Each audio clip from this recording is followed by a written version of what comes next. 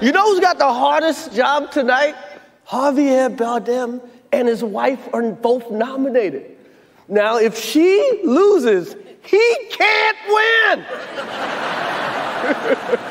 he is praying that Will Smith wins. Like, please, Lord.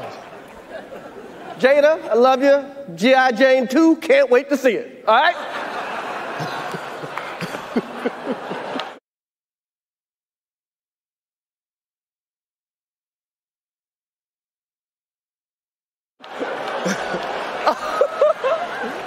that was a that was a nice one. Okay.